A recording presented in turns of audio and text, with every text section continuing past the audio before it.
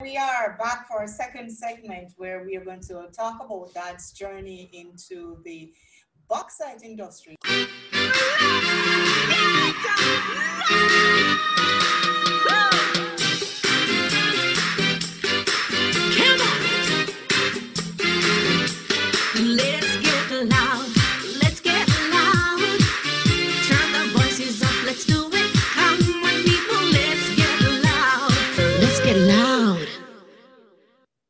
Growing up, our delight was on a Saturday to say, okay, he has to run and check on a project. Mm-hmm. And we would get to go. Mm-hmm. Then you get to see a Euclid where, you know, as a kid, it was just humongous. You could stand in the rim yeah. of the tire. I remember the first time a big yeah. front end loader, I got to steer. Mm. The guy who was operated it put me on his lap and I held the wheel. Mm-hmm. Now, I didn't do much because this thing was humongous, but as a child, that, that's the biggest joy right. to actually take part. And that's one thing Dad always shared his journey, mm. the projects. And through his story, you learn that thing about conviction. You learn that thing about doing it right the first time and doing it better than good enough. Right. He never settled for good enough. He wanted it always a step above that. And that's something that I, I take with me today. All right. What about you, Nupaul? What about what are your early recollections of Alpart? My gosh. So many different um, experiences with Alpart from mm-hmm. going near uh, the bauxite, uh, the mud lake mm-hmm. to get Christmas trees. we went to the offices when uh, before we had phone calls up, phone phone lines up here to mm-hmm. make um, to call my brothers when they were mm-hmm. abroad, and um, the tours that were those were my mm-hmm. favorite. The drive-throughs. Um, you know, the Alpart is always littered with heavy machinery. Yeah. And if if if you are not a miller's son, you have some level of appreciation for these things. And my obsession were the cranes. Mm. To this day, love them. I'll stop on the side of a highway just to look at them. Wow. Love them. And he did this thing once. I'll tell you this one story. Mm-hmm. He came. I wanted. Um, I just wanted a picture, some pictures of it. And my dad photocopied a whole manual of these cranes, the, the operator's manual. Mm-hmm. He copied all of the whole pages and gave them to me. I didn't know what to do with them. Mm-hmm. But then as I got older, I started, when I, I started to understand it more, I started to appreciate what he did. Mm-hmm. Pages upon pages upon, upon pages of these things. Right. So we, we're talking about the cranes and the, the, the trucks. Tell us about his road building the road that we enjoy driving on the Alpart Road. Oh yeah. So the, so the Alpart Road, he um, he wasn't a contractor, but he was a designer. Oh. So he he figured out where the corners would be. Mm-hmm. He figured out elevation, mm-hmm. all of that, all of that, all the way from gutter, all the way down to gutters. Right. He worked he worked on gutters as well. Mm-hmm. Did doing the surveying and everything for for that. So every time I'm on there, I remember him. Yeah. One of the things that you know he stressed when building roads. Mm-hmm. He said if there's water on the road, it's going to deteriorate faster. Okay. So his plans were always detailed what to do with the water, how to channel channel the water away from the road, mm-hmm. under the road, mm-hmm. how to you know put in culverts, mm-hmm. culverts, mm-hmm. which you know take the water from one side of the road to the other. I remember you know a, a story about a design designing this particular road where the only way to get rid of the water was a culvert and he had, I guess, a senior uh, observer with him mm-hmm. who insisted that there was no way to do that mm-hmm. and it was mm-hmm. impossible mm-hmm. and the road did not look like it had that. And the only thing he did was he politely walked to one side of the road to show the start of the culvert, mm-hmm. walked to the other side, showed the exit of the culvert, mm-hmm. and he didn't say anything. He was humbly confident in his ability, and that's something that we heard over the past week you know, being said about him. Right. I also heard a story about the road that turns into Alpart itself and mm-hmm. and what they said about the trucks weren't able to maneuver, maneuver the corners. You want to mm-hmm. talk about that one? Sure, sure. You know, the design of the road had to accommodate large vehicle, tractor trailers. You know, Alpart was notorious for bringing heavy equipment, mm-hmm. boilers. We're talking 20, 30 feet long and probably 15 to 20, if not more, wide. And mm-hmm. these vehicles would come down Spur Tree Hill. Mm-hmm. So I'm going to tell two stories in one. I recall one of the equipment had to come from down Spur Tree Hill. Mm-hmm. And he named out two of the largest excavators they had. Tagged onto the back of this piece of equipment to slow it down going down the hill. Wow. It was like the brakes. So that's a type of equipment that you know, or materials that they were moving. Mm-hmm. So the design that he did was to accommodate these large equipment coming in and making the turn into Alpart. Mm-hmm. But there were some naysayers that said, you know, he did not create sufficient room and that they would run over the side of the road and right. probably not make it. Mm-hmm. So once the road was open and the first oversized unit that came in there came in without a breeze no hassle. The guys turned in, delivered their equipment to the chagrin of most. But here, here's the key piece of the story. Mm-hmm. My father never said, I told you so, mm-hmm. or you see, I got it right. Mm-hmm. He just let his work show for himself. Wow. Wow. That's that's commendable because a lot of people would use that opportunity to say, you know, hey, I did that and see what I mean. But not that in his own unique and humble way, he he knew what he was.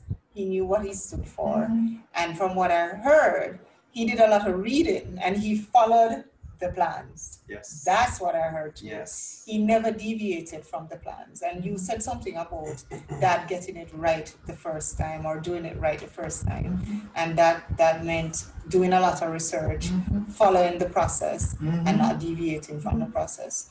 Nupaul, you have anything that you want to add to that?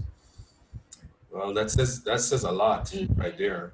Um, he's an engineer, mm-hmm. right? So engineers they they design and they design and then they design. And when they're done designing, they design a little bit more. Mm-hmm. it doesn't stop. Even at the blueprint, I've seen them make changes on right. the blueprint itself. Mm-hmm.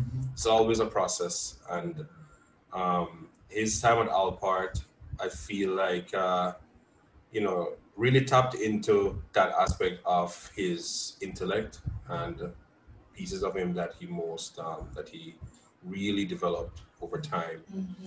Mm-hmm and he did it. You know, there are tons of stories with him out there. Uh, him on the Mud Lake, him designing a dam, him doing. There's so many stories of him doing all it. But I think all of the stories tell the same message that mm-hmm.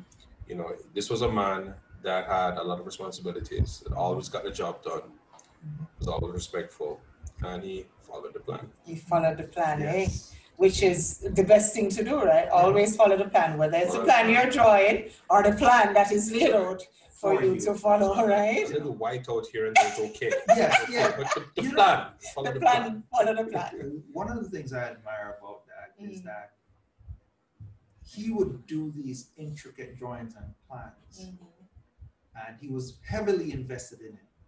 But once everything started to roll out, if he saw a way to improve upon his design, mm-hmm. he would do it.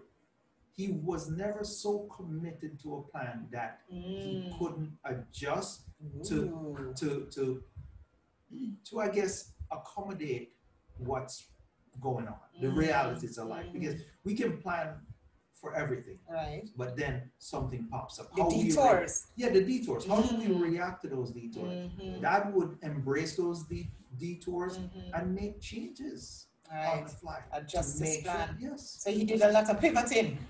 At times he pivoted. Mm-hmm, mm-hmm. That's good stuff. And and that's a, a mark too of a mm-hmm. person who knows that there's no plan that you have to say, okay, this is it. We're not deviating from it.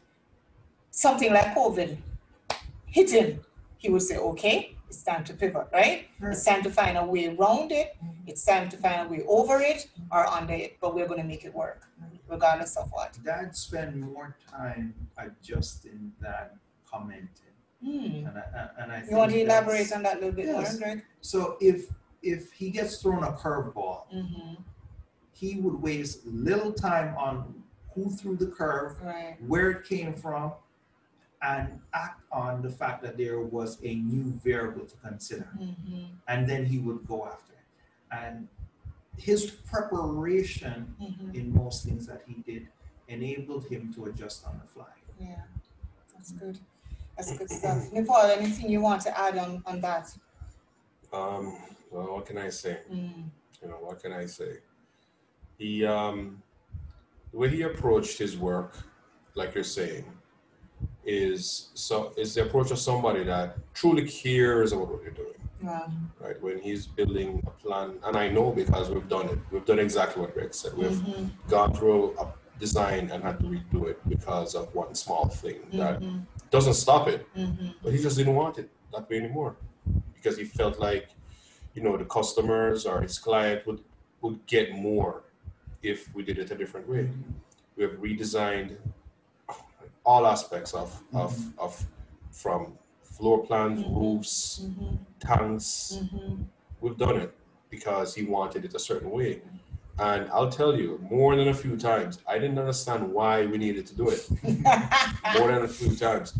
In fact, I remember one house down Mhm. by Billy's Bay. Mhm. It wasn't until- until the house was built, and he was he walked me on that I could see why he, he it was that particular case was Mhm. where the house was facing, and it had to do with just how where the house, the front of the house was facing, and he angled it at a point where when you saw the house built, Mhm. it just fits.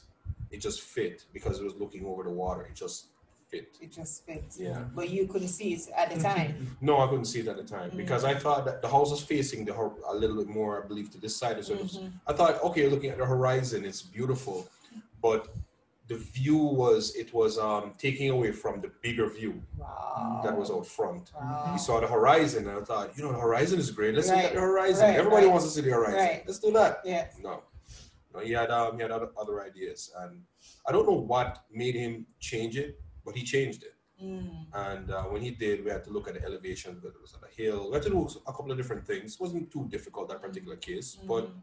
he changed it. And after the house was built, I went up there with him, and we just went to see the client, Mhm. as we always do, and Mhm. it looked a hundred times better. I saw the horizon, and I saw the bigger view, and it was clear that Wow. this direction was better. Simple things like that. Simple things like that. Simple, simple things like that make a big, big Big difference. difference. Mm. You know, you, you touch on something, Nicole, about foundation. And Billy's Bay being right on the beach, um, bring to mind another design he did along the same south coast there. And it was a beach house, very close to the water line, in sand. Mhm. And his design called for pylons and then a slab that connected all the pylons, which most people who saw the design said, oh, that's an overkill. You know, you shouldn't do that. Mhm. Well, lo and behold, a number of years later, a storm came by and washed out all the sand. While the houses around it were broken Mhm. and, and, and torn apart, Mhm. this house, literally, the foundation kept it solid and it was tipped. The house was still intact. Wow. The other houses, the, the footing caved out and the houses twist and broke apart. That Mm. house stayed steady. And again, the foundation is the key, The key. to every single thing in life, in architecture, in engineering. The foundation is everything. In, in life itself. The foundation that you get and you guys you got a solid foundation based on everything you have discussed about your father. You got a solid foundation about pursuing your passion going after things just making up your mind and just doing it. I think nike got the, the advert from him. Just do it i think. Would and have been possible. and getting it right the first time greg that you insisted on that he was so passionate about getting it right the first time and the foundation in life that you guys have been given you know it's it's good for you to just keep building on it keep building on it. Take what you have learned and just keep building so that when your time comes and somebody else is doing this, that they can say, you know, Naughty Miller's two boys that Ingrid interviewed years ago, you know, they built on, on what their dad left. They, they built on the foundation that their dad left. And we just want to end this segment right now to just remind people that no matter what we go through in life, that the foundation that we lay, mm-hmm. that will keep us during the storms in life, when, when we're rocked to and fro, when death comes at us as it did recently with dad, that we know the foundation we have been given, the solid mm-hmm. foundation that we have been planted on, will stand regardless of what comes our way. So until we come back and talk about that foundation that dad stood for, that foundation he had in God, that one, we are going to just say, do the LCSS. If you like what you're hearing, so you're gonna like, comment, subscribe, and share. All right.